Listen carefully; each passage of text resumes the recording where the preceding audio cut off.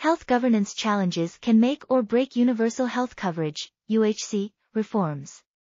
One of the biggest health governance challenges is ensuring meaningful participation and adequately reflecting people's voices in health policies and implementation.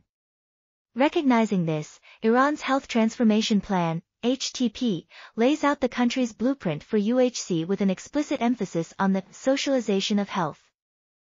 Socialization is seen as a key means to contribute to HTP objectives, meaning the systematic and targeted engagement of the population, communities, and civil society in health sector activities. Given its specific cultural and historical context, we sought to discern what notions such as civil society, non-governmental organization, etc. mean in practice in Iran, with the aim of offering policy options for strengthening and institutionalizing public participation in health within the context of the HTP. For this, we reviewed the literature and analyzed primary qualitative data. We found that it may be more useful to understand Iranian civil society through its actions, defined by its motivation and activities rather than the prevailing international development understanding of civil society as a structure which is. This article was authored by Dheepa Rajan, Mohammad Hadi Ayazi, Maziar Moradi-Lakeh, and others.